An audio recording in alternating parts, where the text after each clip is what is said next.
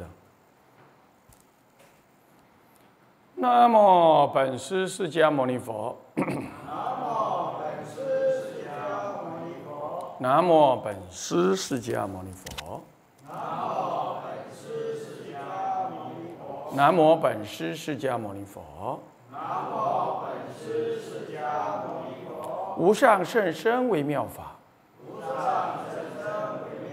百千万劫难遭遇。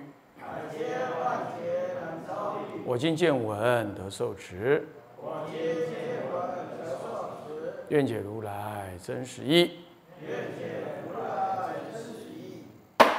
天台四教一记教观纲中何说？各位比丘、各位比丘尼、各位沙弥、沙弥尼、各位居士，大家阿弥陀佛。阿弥陀佛。啊，请放手。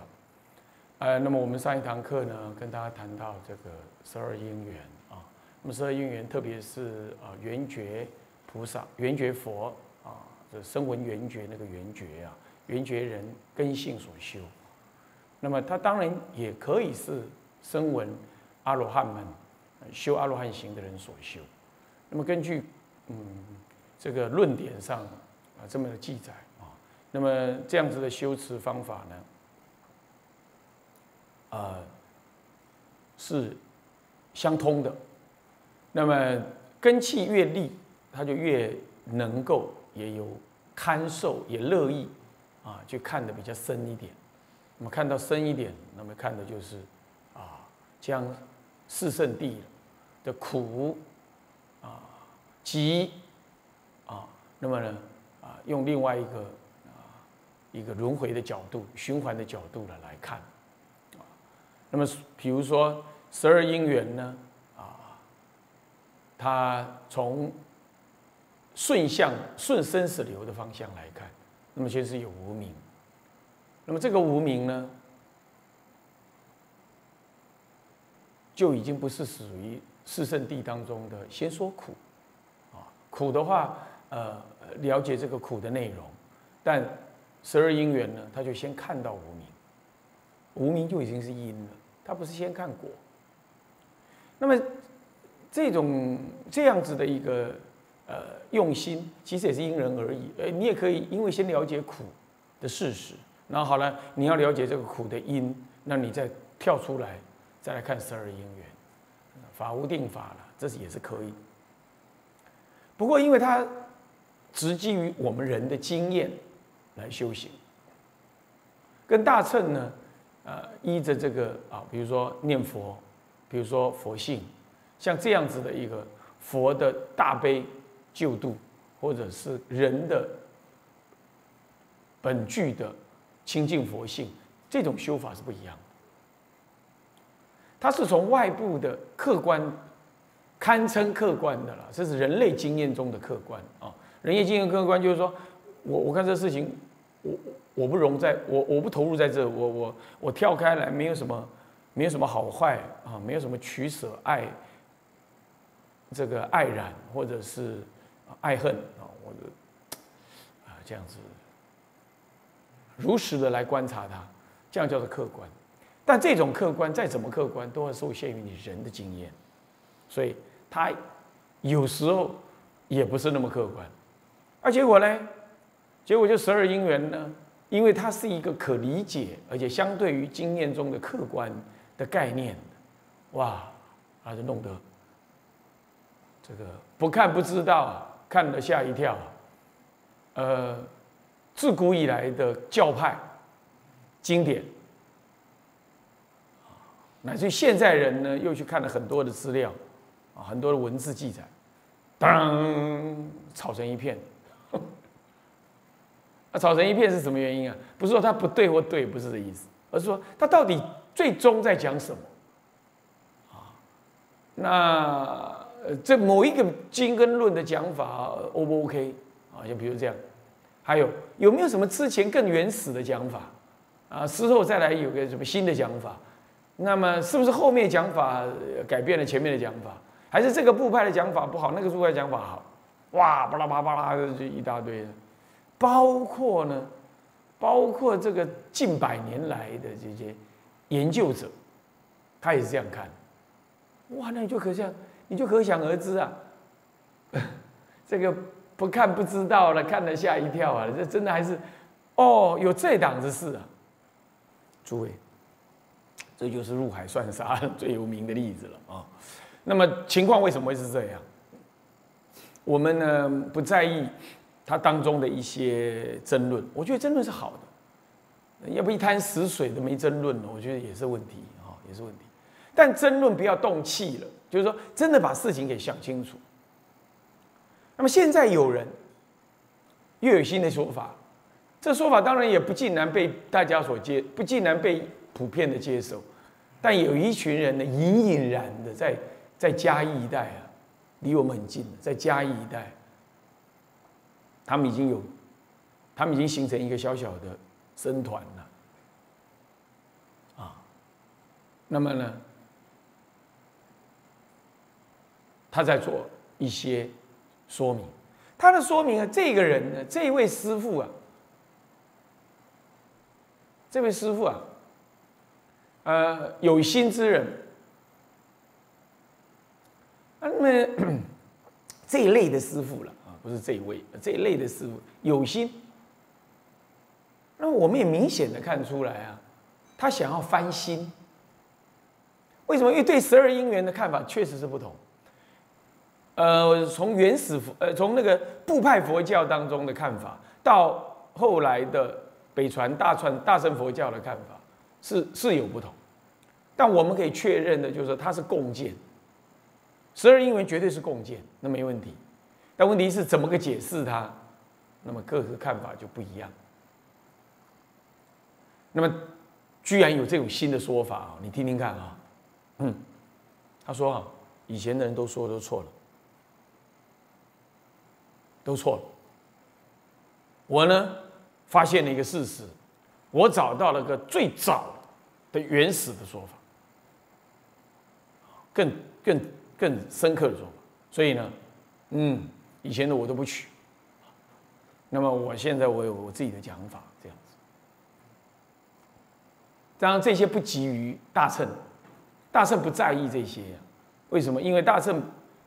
他他跳脱了这一些的的范围啊，当然他有另外的，我刚刚讲他是以佛性为基础修行基础的，当跟这个跟这个在十二因缘的经验中所见的，他不会那么在意的跟你跟你辩论了，你要怎么说，只要不要太离谱，这样就好了，嘛，这是大乘的见解啊，是这样，所以你看到现在的还有人要翻新，因为他真的是自古以来啊。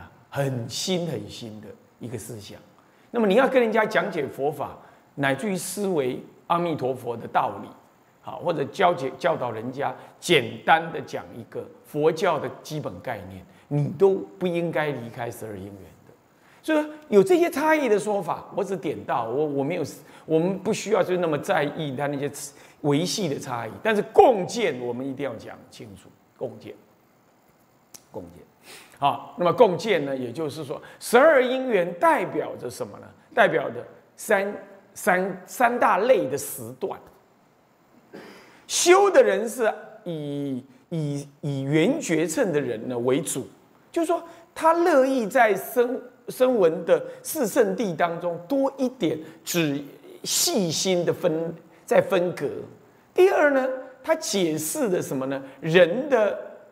人的什么呢？人的这个生命的流转现象，特别是从入胎，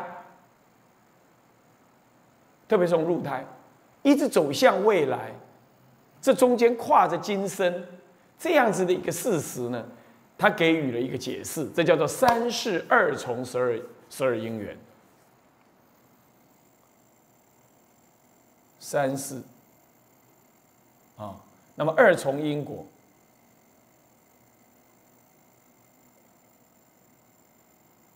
二重因果啊的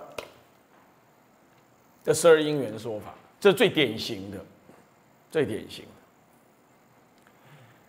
那只是说这个因果的分位分在哪里？从哪里开始分？二重因果就这是一重因果，这是一重因果，这叫做二重因果。十二因缘当中有二重因果，这样子，呃，那么呢，它可以跨三世，就过去式、现在式，那走向未来，这样，好了，光这个就有人有意见，光这个就会有人有意见。那么这个有意见没问题，为什么呢？因为今天这种说法也不是一朝一夕这么说的，我也准备跟大家解释三四十二因缘的二三四二重因果的这种十二因缘的看法。那那为什么说有人会有意见？那是因为我个人的看法是，古德不会有什么意见，古德就把这些包容着放着，何以故？很简单啦，十二因缘是一套什么呢？是一套因果关系的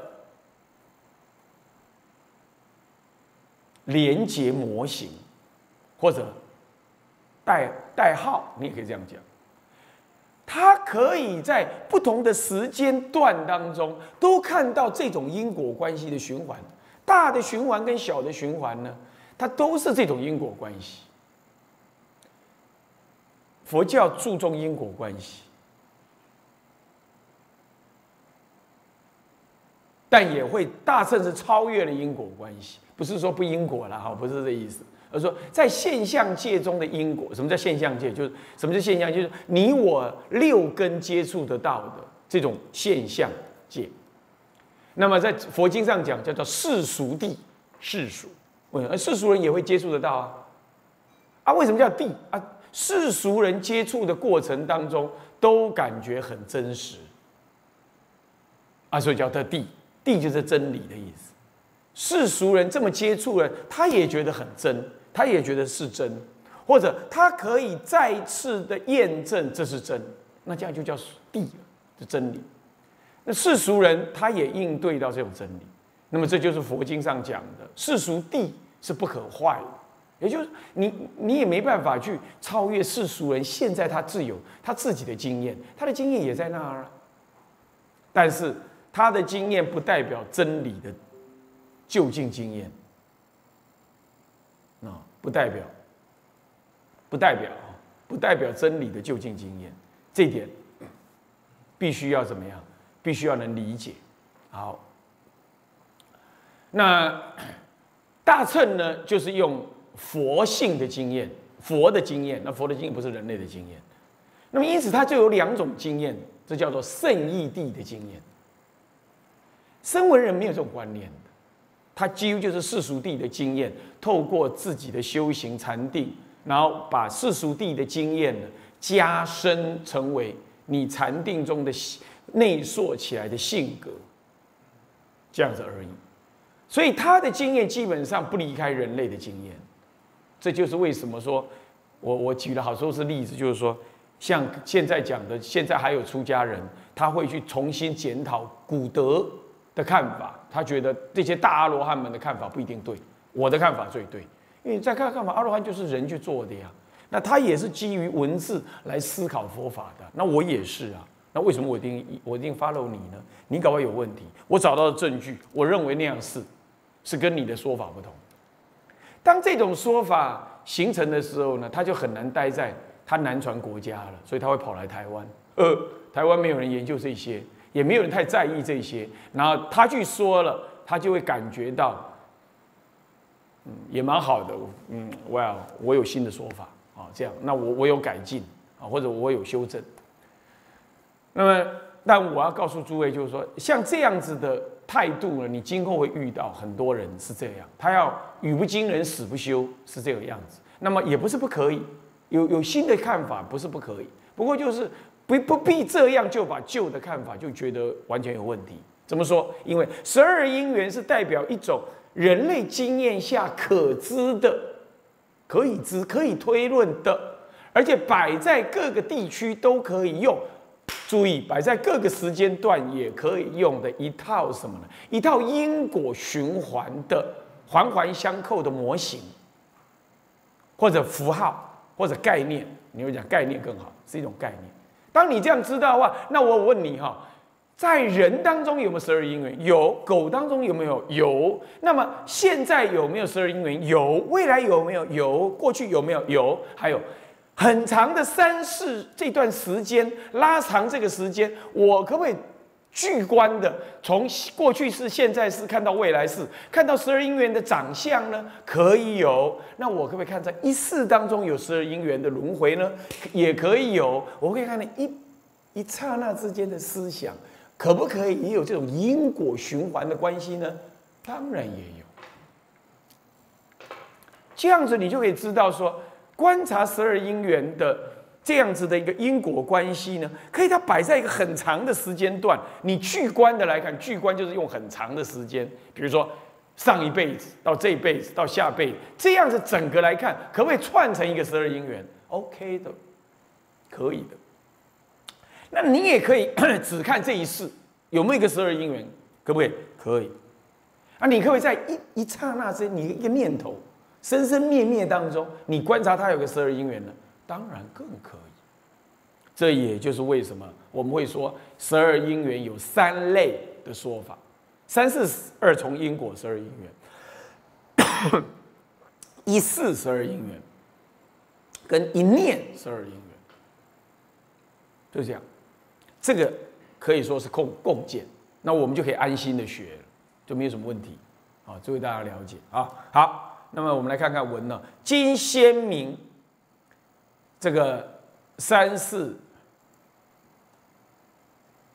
三世十二因缘啊啊，先明三世十二因缘者，我要先明它啊。初二过去四色，后二未来四色，中八现在四色，这是智者大师的意见啊。这是智者大师这样说的啊。那这个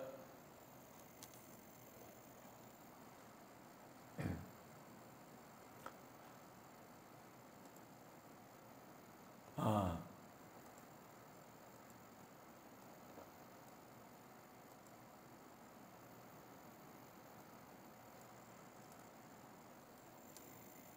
我们来看看啊，这个中八啊，哎，对不对？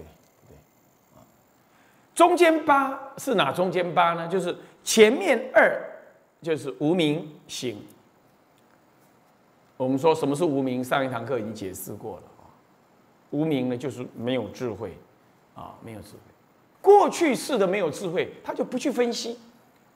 那他只，我昨天只是跟大家讲，叫做实史，贪嗔痴慢疑身边界见邪。我特别提到那个疑跟慢，有没有？啊，疑的时候我也提到现在的有一些教，有一些教团呢的问题啊，我也特别提了啊。那这个这是过去的无名累积的，你成为一种习性，身见边见，身见就执着身体为我，执着身体为一切的基础。那么什么人死人死了，那么就。就进入到边界，要不就是执着他人死如灯灭，什么都没了，因果一笔勾销；要不就执着我一定是人，这就是常见。这两个从身见就会进入到对于死亡的看法，进行身边见跟邪见，呃，边见的观念。那么对于因修行的因，修行的修行的果也认知不错误，那最后就是波干脆波无因果。对因果的观念认知错误，最后是根本就否定因果。这是这五个呢连在一块，成为你对人间的某一些看法。这样看法会使得你没有因果，没有轮回观念，不知道不知道你过去的生命是有厚度的。我在成大演讲讲，我说你的生命是有厚度，有一个过去带过来。所以你不用去看今生我怎么老输他，老输他。你过去都没跑步，现在人家跑几公里之外了，你现在才从开始跑，你当然输人家。你这一次就要开始跑，拼了两根短脚，你能够跑赢他呀？他已经跑那么远了，你这么哀怨埋怨，看看看他，你的嫉妒他，你没有意义是不是？人家过去是已经书读了很多了，现在边玩边读书，怎么都赢你。你过去是就上课就是打瞌睡。现在好不容易你能够跟人家同班，已经很已经很很万幸了。你说你要赢他不容易嘛？这是有厚度的。当有了厚度，就生命的种种样态，你就比较能够放下。你就比较知道说，那努力是有用的，但是不是今生努力就马上产生反应？人家已经跑了十几公里之外了，你现在开始跑，你努力吧，可以，但你要努力到多少，你才追得上他？当然慢一点嘛。所以不要嫉妒，努力就好，还好还能够看得到人家的车尾灯，还知道他方向在哪里，这样就可以了。这种意思，所以你的生命就显得相当的淡定。淡定，什么坏事来了，你也知道啊，坏事有原因的。我不会这么倒霉遇到坏事，天下没有谁是坏事，谁倒霉遇到坏事啊？那既然这样，自作自受哈啊啊！我虽然不知道到底是什么事情我惹着他了，但这个人每次看到我就是就是对我这样子不友善啊，当做宵夜。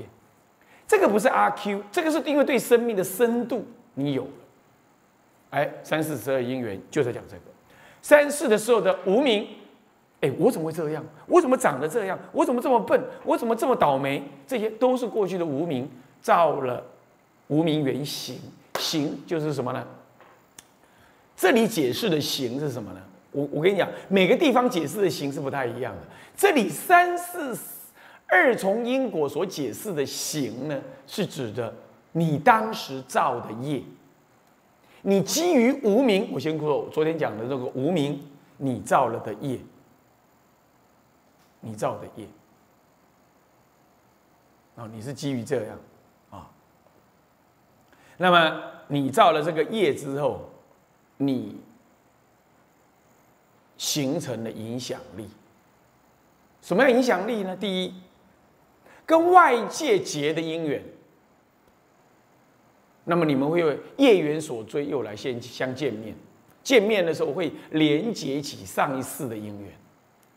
有时候会这样，你会你跟这个人就没什么好怀疑，你觉得你就相信他。你对这个人你就觉得，哎，怕怕的。哎，怎么会这样？啊，就过去有缘没缘呢？呃，人的关系。第二，你自己的福报，你怎么个努力，你就是归零。而人家稍稍一下，人家就有成果。为什么？你过去不随喜。你过去的努力呢？你不，你不，你不秘藏，你把它爆掉了。你的修的一点小福报呢，都转换成名声，转换成吃喝吃喝吃喝玩乐。呃，结果呢？你你你这一次，你过去是是有些努力，没福报，福报用完。那那么有人呢？哎，他修跟你一样的内容啊，但是呢，他隐藏着，他呢，呃，这个。呃，呃，原则上是，呃，守护着的这个，呃，这个你的你的那个福报的内容，所以，哎，人家还在，这就是行，所以他不去谈行的细节，他去谈说，告诉你过去是你的一切行为，这行为分三类，其实分六类了，眼耳鼻舌身意。所泛幻化出来的什么呢？眼视、耳视、鼻视、舌视、身视，跟意识、意的视，所显露出来那个视，推动成为身体的造造作，或者语言上的表达，或者思想上面的凝结，这三个，特别是特别是耳，呃，特别是舌，还有就是口啦舌。那么身，还有意这三样，六根当中的身口意这三样呢，造作的特别明显，啊，造作特别明显。那么这种明显，呃，这种明显呢，使得你这个。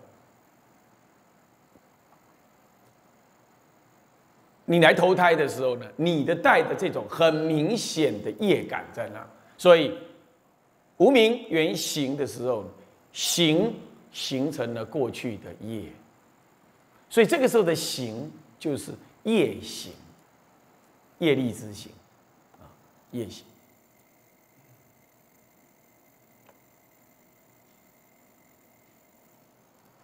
或者有时候倒过来念行业，你行所形成的业。没有仔细的分析，他告诉你，你如果要投胎，你一定带着这个业行业而来，业行所造成的行业，业的形状在讲行啊，行业是在讲业，那些业来，这些业呢是怎么的发生作用呢？哎，它让你形成意识。什么时候形成意识？你上辈子死了，你无名而造业，造业地之造，地里造，一直造啊，一直造的各种业，造到你临死前一口气，你都在造业哦。你相不相信？临死前一口气，你可能放不下谁，或者你还在对谁很。很不愉快，还是你对于你的死亡很不甘心、很恐惧等等，这些都是业哦，只是身体造作的业少了一点而已。啊，你在造业，造到最后一秒钟，噔噔，没气力了，这个时候你会感受到你死亡，那进入中阴身。中阴身什么叫中阴？我们有五阴身嘛，色、受、想、行、识。下一个五音，下一个生命也是会有色受想行识。你在这个色受想行识跟下一个色受想行识的五音之中间，还不确定，它还在变化当中，这叫做中阴，或者叫阴中。两个五音的中间，阴间与阳间的中间是太平间。那么呢，你不要想成那样啊。我们是五音，两个五音之间叫做中音，把中想在前面。两个五音的中间，这中间的音，为中间的音有什么特别呢？是这样特别的。你死了之后哈，要投胎做天人，理论上说是马上去了，但也有那种慢慢去的，就是天人的业。天人的福报很低，你是很低阶的天，比如四天王天、都率天就稍高一点，啊啊，就就就高了一点啊。这个这个四呃第四天，第四四四季还阴的天呢啊，这是第二种天，这是地居天。这种地居天呢，不是福报很强，可能还得天人来接，啊是这样。但因为能升天的人，大部分都有善业，他不会在中阴身待太久，可能一天半天，天人就接走了，也可能临死就看到天人了。你们有很多基督教徒，他们在临死的时候就会看到天使来接，这就是属于升天人，有形的天人，有就有地地居的天人，应该就是四天王天之类的，第四天等这类天。好。那么，如果你是生为为人呢？啊，不，第四天是这样。那么，你刚开始出死亡的时候，你的身体会还会自认为是这个长相。你去照镜子，镜子已经看不到你自己了，但你你眼睛看得到镜子。听懂哦？你去看镜子的时候呢，镜子是，你你看得到镜子的，可是镜子照不到你，没有脸。你要是哪一天起来上尿尿的时候呢，你突然间走过镜子一看，哎，怎么没有我？那你就知道你可能已经中风，还临时死在床上。你现在飘上来的是中阴身，记得啊，赶快念佛，说我要往生。你还会自认为是原有的身体，慢慢慢慢的中阴身在转变。会转变成为你想要投，你不是你想，你的业感会让你投胎的那个样子。哎，这个就是无名原形行缘四的那个状态。第一次刚开始前半段的中阴身那个事，不会是你投胎的状态，因为你还自认为是人呢，不会。但慢慢的你会形成，哦，很不幸的形成你是。没有往生极乐，你是天人，那你会渐渐的感受到身体很轻，天衣着身，你会光溜溜的，这样，那么可能是四天王天呢，还会看到男女形影，四天王天还有男女形影，啊，六欲天都有男女形影，啊，你会看到天人的形影，你的爸妈在那，你对他们的爱染心不重，比世俗人还要轻，所以你才做天人。但你还是会爱染男女，一直到六欲天的顶天，他化自在天呢，是相视就形影了。你看我一眼，你看我一眼，我看你一眼，这样就叫形影了。你也正在爸妈看形影的那一刹那，你也投胎了。所以还是有男女，还是会有爱男成女、爱女成男这个事情，但是没有所谓的肉体接触了，这是最高的欲界最高的天是这样。那么这些都是你看到，所以你会转变。万一你是下，你是堕落呢？啊，麻烦了。比如说你堕，现在很多人爱养狗，跟甚至于跟狗乱来啊，这样子。那么呢，还跟狗亲亲，搞亲亲这样，那然后还去想狗的样子，想狗的想法，最后呢，可能就很不幸。再你又如果又造业，没有造善业，那你就变成狗了。那这怎么办？人你还不会投胎，还看不到。到了你转变成为你狗身的时候，你会看到你狗爸狗妈。你的想法渐渐也接近像狗那个样子。那你会看到你的爹娘也在那行影。你看还是一样，那个是狗爸狗妈。啊，你看到是人像人形吗？不一定，看你的业感。有的人还是看到活人的样子在行影，但一投胎其实是狗，只是猪是牛，这就是你的自我意识还很强，但业更强。你的自我意识保留人见，可是业已经让你忽略了那是畜生道，骗了你，你去投胎。另外一种是你的自我，你的那个你的那个自我业感弱了。你的业更重，重到怎么样？重到你的五阴呢，都已经变成狗身、畜生身，所以你也已经麻嗯模糊了做人的样貌了，忘记了做人的样貌啊！这个时候你看到狗妈狗爸，心意就很自然，你也会去投胎。这种能投胎的意识，就叫做无名言行行缘事的事，听懂吗？这就是事。在讲事的时候，这就是事，所以它是在五音、中阴身之后的样貌的下半段，投胎的下半段是这样，哦，就投胎咯，这样就会投胎啊。那么无名言行行缘事，所以事是什么呢？这能。一种它的最重要概念，这个事是怎么样子一个状态呢？就是你的心念相续的状态。你要知道，我们的心念从来没有停过，哪怕在禅定中也没有停过。一台汽车哈，你把开关关掉，你可以说它停了。但它随时可以启动，只要那开关再打开就启动，除非你把引擎拔掉，它才永远不动，对吧？是这样。那么哪怕是深最深禅定的他化，呃，飞飞想出天，也是引擎还在，只要钥匙插上去一转，它还是动。过去的种种因缘，整台车子呵呵，整台好好来照样动。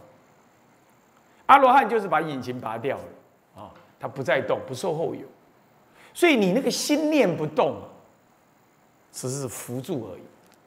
哪怕是禅定也一样，看你能扶多久，肉体能撑多久。我们地球上有一群人是活过四五百岁，你不知道而已。他们有方法活，他们有方法禅定，那都在深山里躲着，甚至于呢，草木盖着。修行人，佛教修行人会再出来。要不就直接就入灭，要不等下一尊佛，像迦摄尊者。那么有些修道教的人呢，他就认为这样就成仙，肉体都好好的，哦是这样，哦是这样啊。那么这就不谈了啊，这些都是什么？沉浮住，年念都永远在动。好了，那么无名缘行，行缘事，事是什么样子？它有个特色，想活，想在做什么，想拥有什么。想完成我的什么？想满足我的什么？有这个念头，阿罗汉就是没这个念头。啊，你我就是有，永远有这个念头啊。我问你，你睡着的时候想不活吗？不会啊。睡着的时候，如果梦到你摔进水里，你还是会挣扎，在梦中会挣扎。为什么？你在梦中都想活，没有人会在梦中不想活的。哪怕你眼耳鼻舌身都不作用，你的意还在存活、存活那个状态，不停哦。注意听哦，不停哦，对吧？第二种，有目的。你比如说，我现在想的是啊，宗教法让它宗教基本法要过，要立法通过，哎，这是我生命中现阶段想要的目的。啊，也有短的目的啊，我现在肚子饿，我现在口渴，我想喝水，短暂的目的，那都是基于一个我，要不就理想，要不就是某一种物质需要，这叫五阴炽盛；要不是某一种感情，爱别离，求不得，怨憎会。怨憎会带着恨哦，怨怨憎呢，憎就是生气，我不想看到你；怨就是埋怨，看到你就觉得你你亏你亏待我，我的一生都是你害。很多女人都对她老公这样讲：我的一生都是你害的。真的怎么说都不说不过去啊！就这样啊，比如说这样怨，这些使得你想要去米平，想要去找回公道。想要再去讨一个说法，也使你不会生命不会停止。有的人恨，那《基督山恩仇记》这部戏，这部呃德呃呃呃呃俄俄国人写的，我没记错是俄国人写的嘛？俄国人写的这部书为什么这么有名？是现在网络时代没人看了啦。为什么这么有名？《基督山恩仇记》在讲什么？在讲恨。他是因为恨才活下去的，你看，啊，他也因为恨可以下一辈子再来，再来过日子。所以是为什么会去投胎？为什么？你知道为什么？因为就是我讲的这样，有自我活下去的意志、渴望，要不就是有感情上面的未完成，要不就是有物质上面的执着，要不就是有。理想的未完成太多了，那极大部分是两类：自我感的延续，跟自我欲望的满足。那问题来了，他是中阴身呢，连镜子都照不出他自己呀！你想他怎么完成？那一定要找一个肉体来依附。这不是他想的，是他感应的。听懂吗？是他感应来的。我告诉你，万佛寺我会来，也不是什么我有什么有修没修，也是感应来的，而不是我修行感应来，是我妄想来。我当时出家的时候，我就说我最最好不要盖庙，人家盖了我去接收就好。你看有这种想法，是这样子啊？啊，这种想法，人家人家就会说啊，好了，那不给你吧？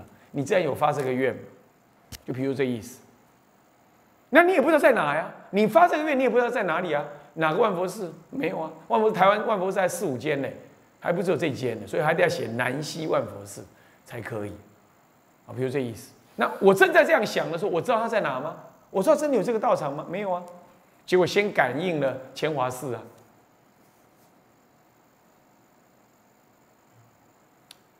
然后接着才乾华寺。但是我知道。我感应的，我心里想的说要一个寺院来来来住持佛法，我当然想的不会是只有一间大殿，然后其他事情没做，我也不会想着什么事情都不能做，不是这样。那结果就会在感应这种啊万佛寺啊有个殿堂有个讲堂啊，这是你的念头，念头发射出去了之后，你的法界会会呼应你。声闻人不懂这个道理。他他怎么看待？他说：“你有了夜行之后形成的意识，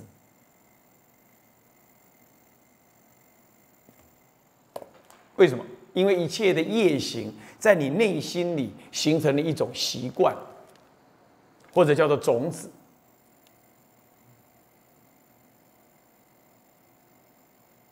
或者叫种子。”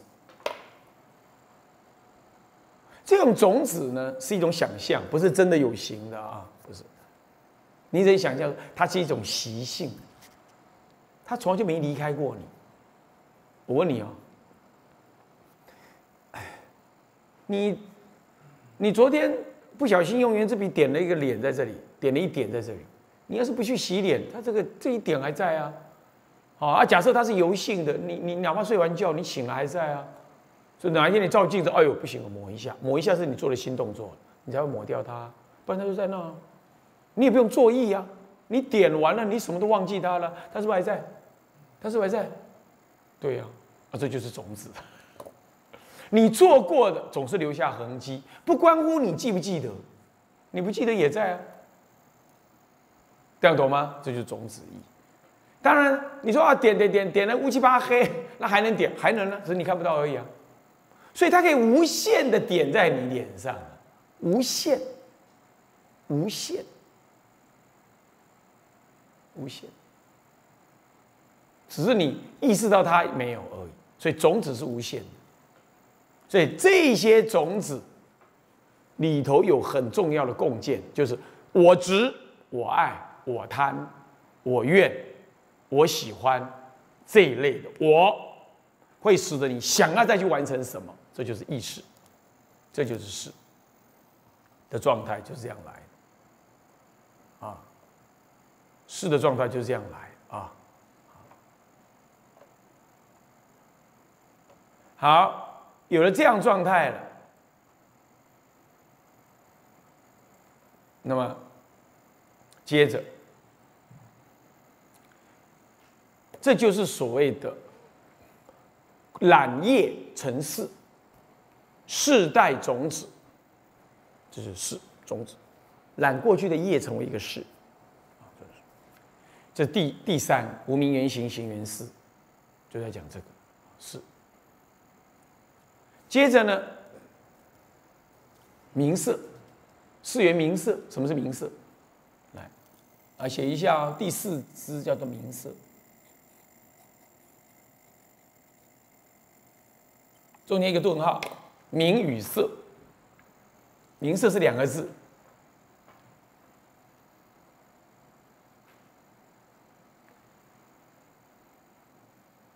名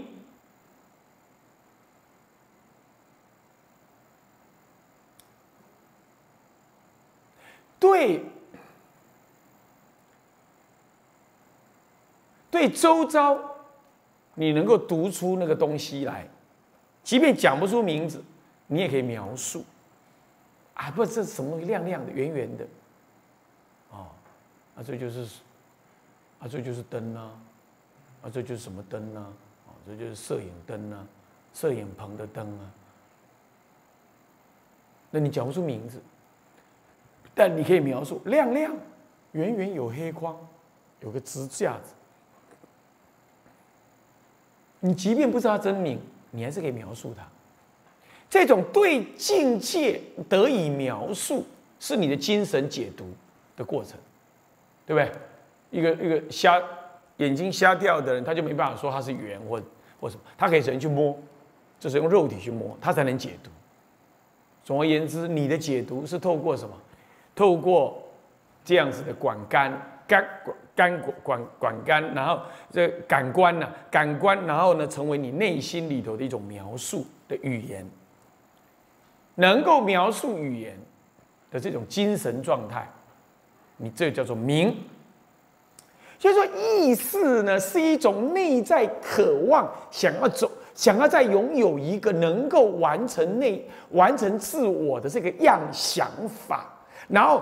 具足非常多、非常多，你过去所造的不是非常多，全部你过去所造的业种在那里。但是你有一个特殊的想法，想要完成，想要再去实践个什么，这种自我感这样子的事，他才会去找什么呢？找找看到有缘的父母形影。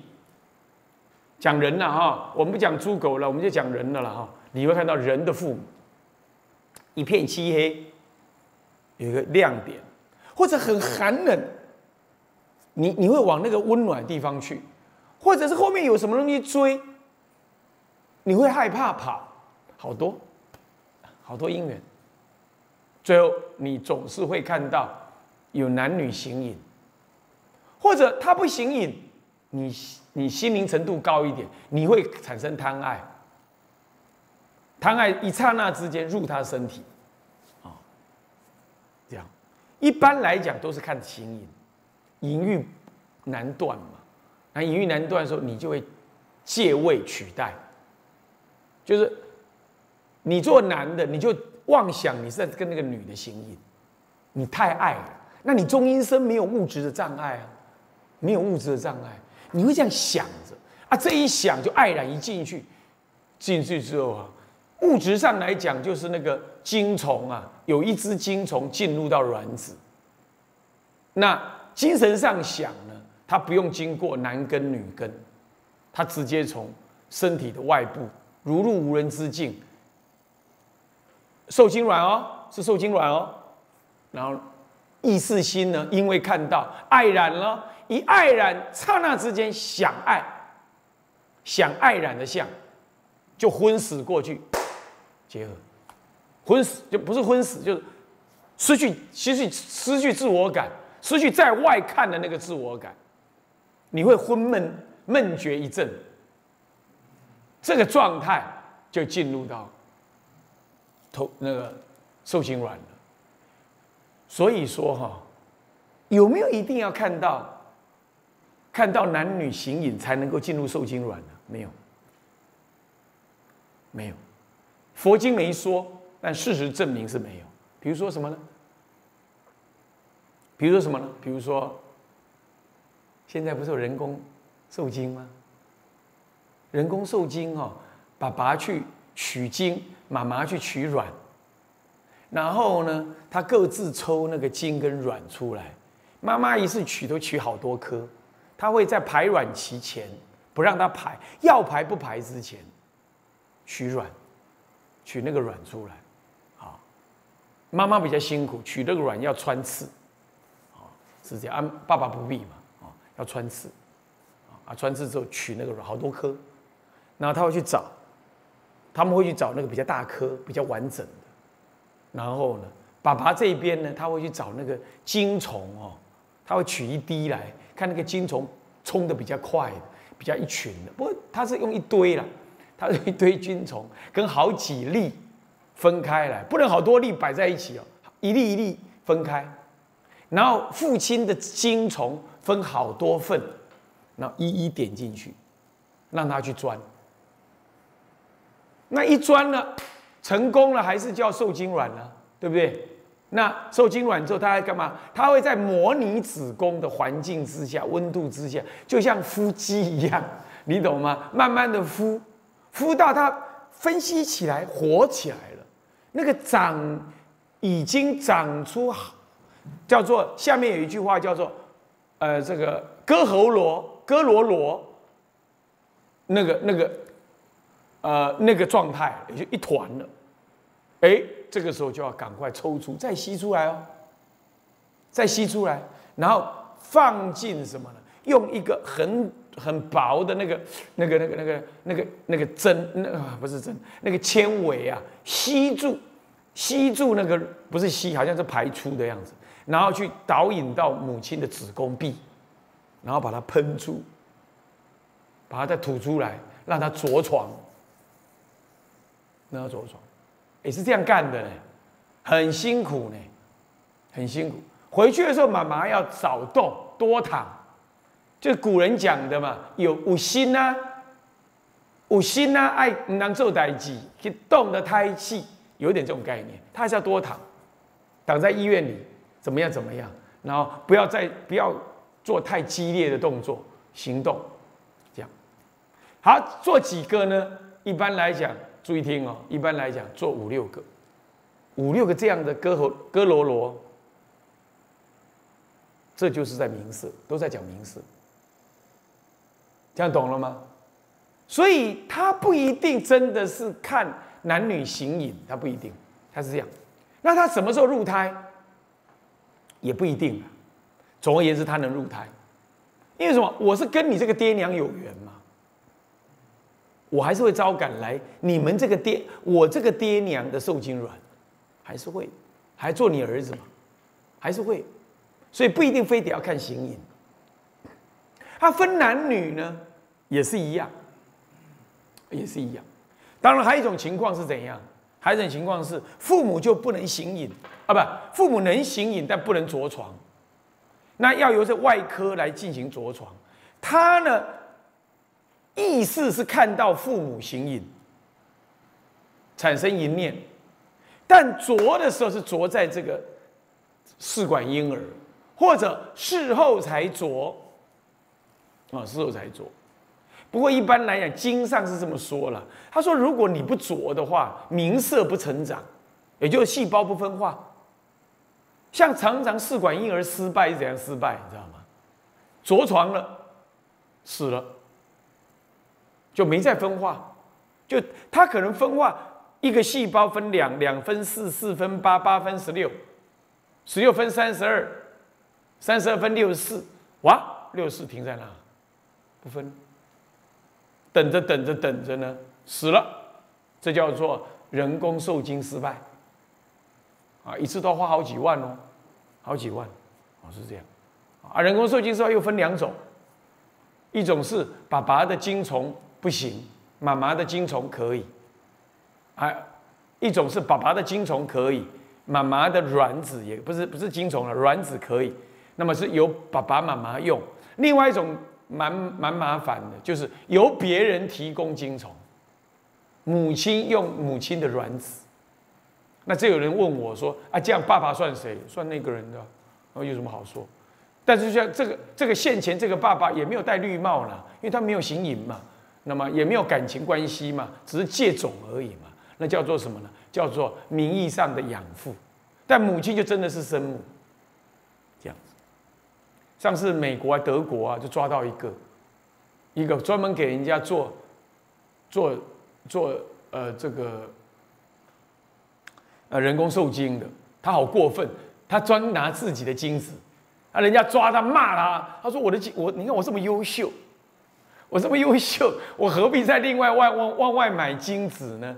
用用我自己的就绰绰有余，那政府就把他判罪啊？为什么？这样会造成乱伦呢？满天下都是你的儿女，这还得了？是不是？你知道吗？这个地球上面有一千五百万人是同一个家长的，你知不知道？啊，那个家长是谁？你知不知道？有一千五百万人，那个家长叫得出名字的。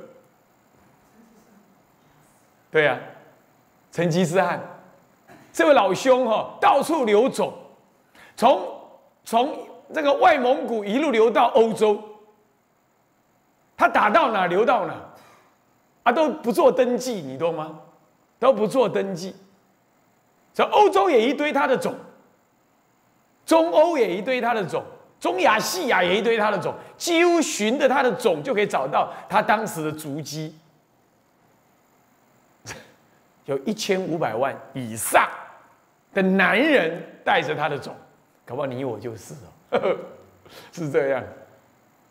因为现在有基因工程嘛，他能够看那个基因的那个符号，能够抓出来，一路往外找找出来。那个网络上面有这么一个一个劝善的故事，他说黑人、白人哦，德国人、欧洲人、台湾人、英国人、日本人、非洲人哦，通通在一起，通通在一起哦，然后就那个那个什么那个研究者啊，就跟他讲说，哎。找一个白人女人，找一个黑人来就坐在一起。说你们两个有什么共同点没有？他说完全没有。两个说完全没有。他又找了一个德国人跟一个日本人。你们俩有什么关系？呃，没有，我们俩因为他是白人黄人。啊，三个礼拜你们再来，三个礼拜再来的时候，这些人通通有兄弟姐妹、妯娌什么挖沟什么一大堆关系。通通在那个基因族谱当中找得出来，好恐怖！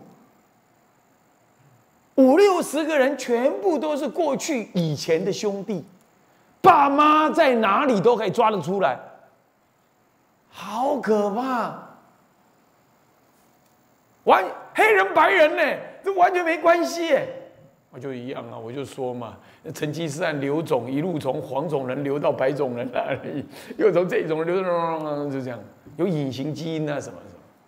所以你看佛法讲的了，佛法讲的，这一切众生皆是父母，互为父母兄弟。他是从今生来看，这就是名色。什么是名色？就是意识心染父母的精血，是已经成为受精卵，那个叫做色。你的意识染入了，叫做明，这其实就是你的意识你刚刚那个是，受想行识那个是有没有？执着那个受精卵为我，执着那个受精卵，这就是受精卵。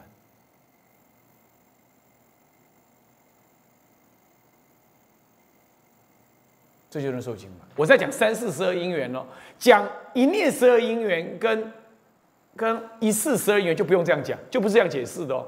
我在解释三四二一十二因缘才这样解释的，它是符号而已啊，是这样，是受精卵，是色。那么你的意识心执着这个受精卵为我，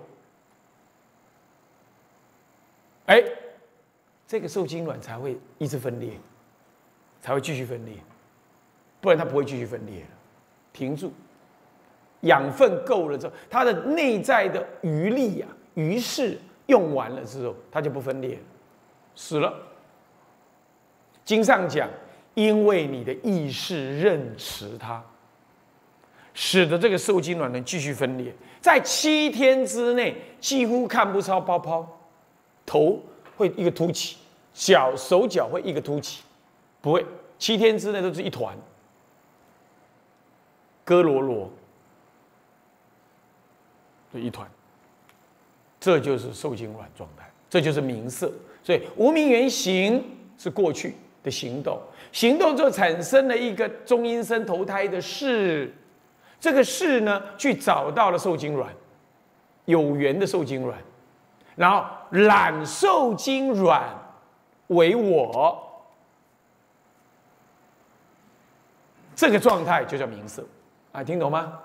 听懂吗？是这样，这个状态叫明色，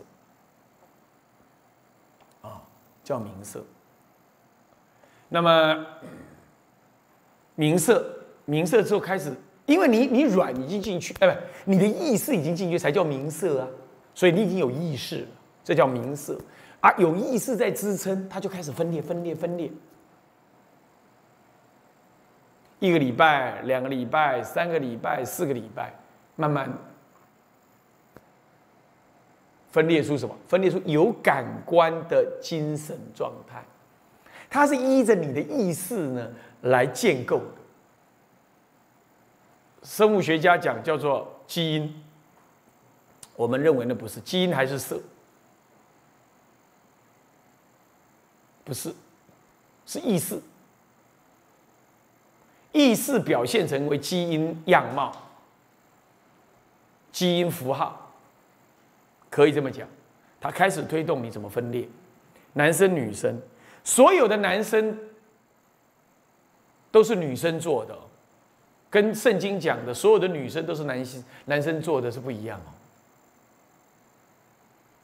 哎，是这样子的啊，女生都带有男生的格。的的隐藏的东西，它最后呢是把男根不长，最后才形成女生。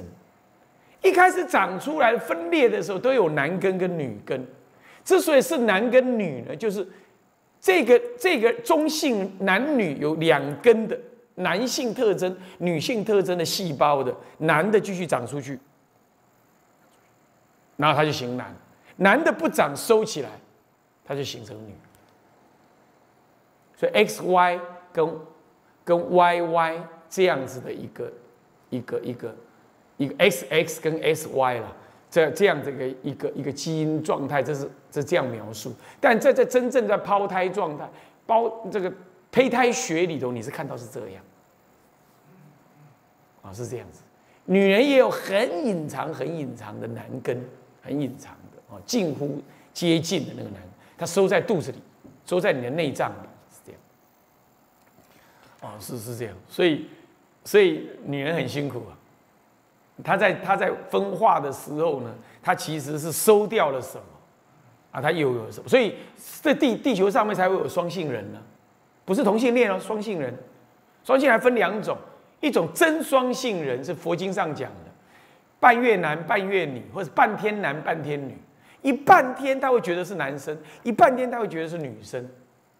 像台北有一位先生，他很有意思，他是要做变装癖者，他能生小孩，他不是同性恋，他有太太，但是呢，对不起，他穿起女生的衣服比女人还女人，他每天要刮脚毛，穿丝袜，挂项链儿。带女女众的皮包，GUCCI 的皮包，穿高跟鞋儿，然后呢，去台北上班，上什么班？哎，他那个班很好，他那种上那种，他那种工作很棒，平面设计还是什么设计？哎，搞设计的嘛，啊，完全是个女生哦，讲话来来来，男生的声音，一不一不小心会被吓坏了，是不是这样啊？完全是女生哦。也穿女人的胸衣啊，什么小内裤，什么都这样穿的，完全一模一样，是这样。有小孩啊，啊，小孩都跟他很好，他也知道叫爸爸，也知道叫爸爸，他没有什么精神违常哦，没有。啊，他也不是同性恋，他就喜欢这样，哎，很特别哈。啊，他不是双性人，但但佛经上有双性人，戒律上也有双性人，双性人分两种，生理上的双性人。跟心理上的双性人，跟生理、心理都是的双性人都有，啊，是这样。那么这些都在律上面都有提到，啊，那么这些都是受精卵之后形成的一种业感，它追追着你来，它开始明色之后会进行分化，神神经也开始出来了，长出来了。这个时候你会看一团当中哦，会生出六团来。六个呃六，这个五五五个边边来一团，啊这样，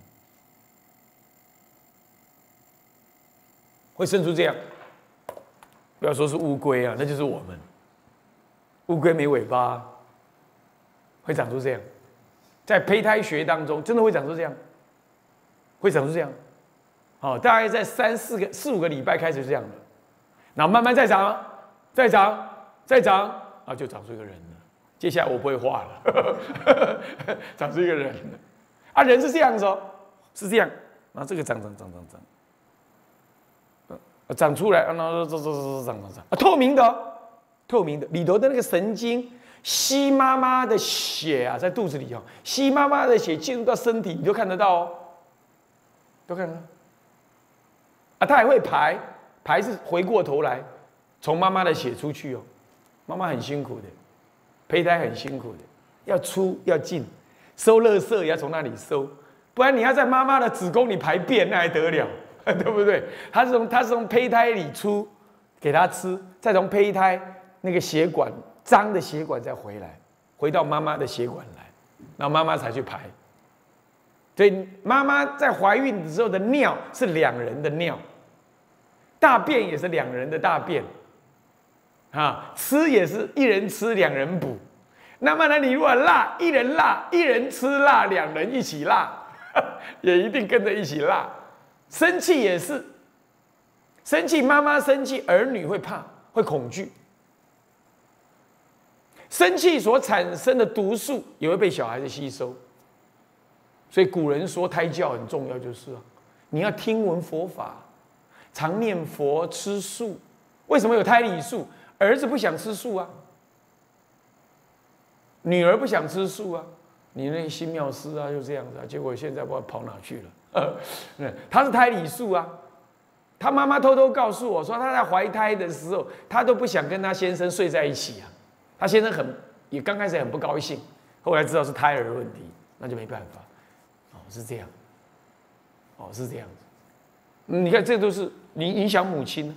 胎儿想法强就影响母亲，母亲动作大也影响胎儿，这相互影响，处处都有哦，处处都有。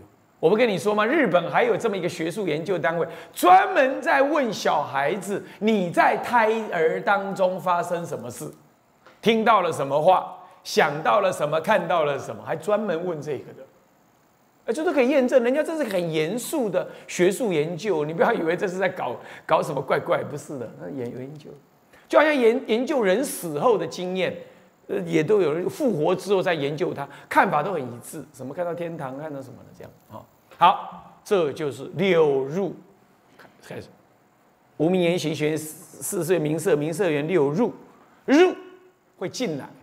六种接入，你可以把它当做是受接受的器官，叫做入入嘛，进来嘛，就接受进来，就入六入就出来，就长成这样。不是五入而已吗？不是啊，是五五肢啊，头手脚，你是有眼耳鼻舌身意，所以那个时候的胎儿醒过来了，他。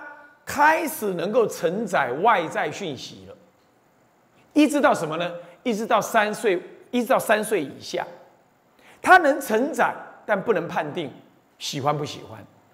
这是经上这么说了，好，经上这么说。他说他能承载，不能判定，这就是六入缘处，就处就出来了。他开始能承载，就他开始能感觉冷热，你知道吗？妈妈怀孕的时候，我不知道你们妈妈做妈妈的怀孕过，所以胎儿在里头会动，有没有？会做运动，会打到他的胎的那个那个胎壁，会这样。有的妈妈会这样啊，有的人举手啊，等于男生、女生，有的人举手啊，有的人会这样哦，他知道他在动哦。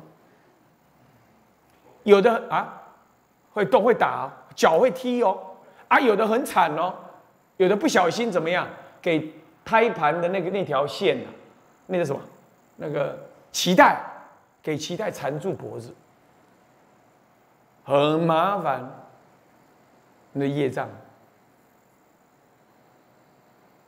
业障，啊，会会有这种情形啊。那么好，那么就明色，所以明色受精卵开始，或者明色缘六入六入缘处。处在胎儿当中就已经有了，不一定要真正长成一个头哦，只要他的身体感官出现，那就处就出现了，所以它更快。还没有人形的时候，它就有处了。所以奉告天下母亲呐，你在怀孕的时候，真的要多听经文法，多听佛号，吃素，不要杀生，他就有处了。真的是。真的是这样，所以真的不能杀生，也不能拿胎，也不要打胎，啊，这都他是有感觉的啊。佛经上说，从明色就是生命了，对啊，有事有肉体啦，就是明色了，记得。所以受精卵完成，活的受精卵能分裂的，活的受精卵就是生命，就基本是生命。所以你放在胎里啊，如果是。人工受精啊，最后它会有一些就自己萎缩掉、死掉。啊，当然有一些他会看发展的最好留着，发展不好的差不多就要萎缩就拿掉。那个不太能说它杀生，因为它发展不好，很显然，很显然有有就是他那个意识没进来，他也有余势嘛。就好像肉要坏掉，也不是立刻坏掉啊，它还是慢慢才臭掉啊。一样意思啊，他那个没有受精，没有意识进去，也不是立刻受精卵就败坏，也不是，要观察，就医生最后就会留一个受精卵继续发展，因为不然母亲承受不了啊，对不对？承受就要这样，就要把它拿掉，就会拿掉啊，有的会自己流掉，他会去观察，会再回医院观察。啊，好，那么六入缘处，处缘受，受就开始有什么？有苦乐了，有苦乐，啊，这个呢，一般来讲，一般来讲呢，这个有一些说法会稍微有不同，就是小孩子的感官在什么时候完整？其实，在六入有触的时候，触慢慢就会有受，但有些经典上说法不同，他把触跟受时间拉开，哦，这点我们下一次再讲啊，我们先上到这里。向下文长复以来人回向众生无边誓愿度，烦恼无尽誓愿断，烦恼无尽岁愿法门无量誓愿学。佛道无上誓愿成。自归依佛，当愿众生理解大道，发无上心。自归依法，当愿众生深入经藏，智慧如海。自归依身，当愿众生同理大众，一切无碍。愿以此功德，庄严佛净土，上报四重恩，下济三途苦。若有见闻者，悉发菩提心，尽此一报身，投生重生极乐国。南无阿弥陀佛。南无阿弥陀佛。南无阿弥陀佛。好，我们休息一下。